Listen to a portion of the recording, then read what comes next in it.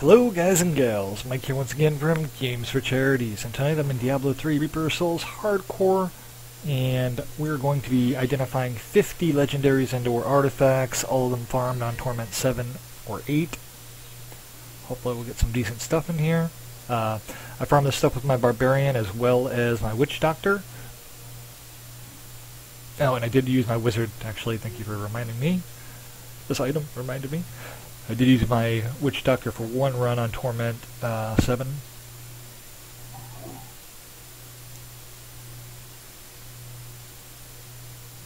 So if you need to uh, read something, just go ahead and stop it at any point. You have my permission.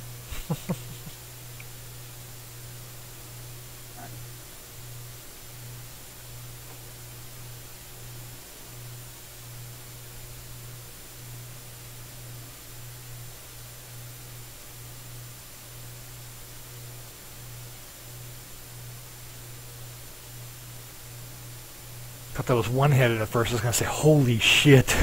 That'd be freaking crazy.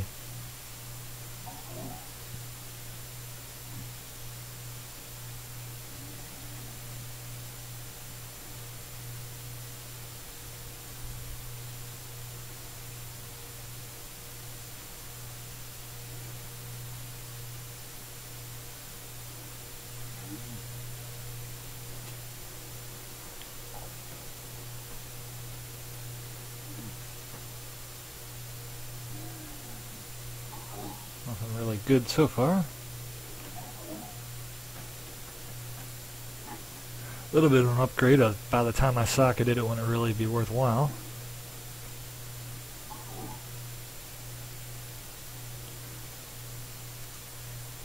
Oh, I can't take that one off anyways because of my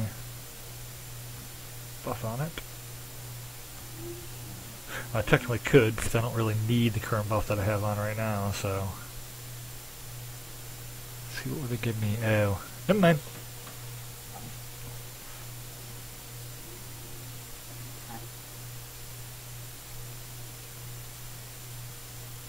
Alright, be back in a few with the uh, rest of them. And here we go.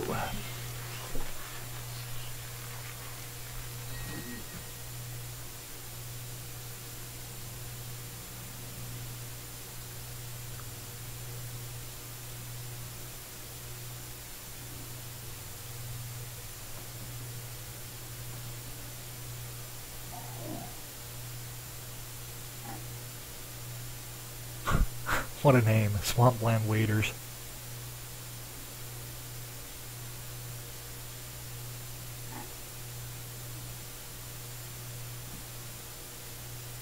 Well, nothing really great. Anyways, guys and gals, thanks for watching. And I'm sure I'll see you again soon.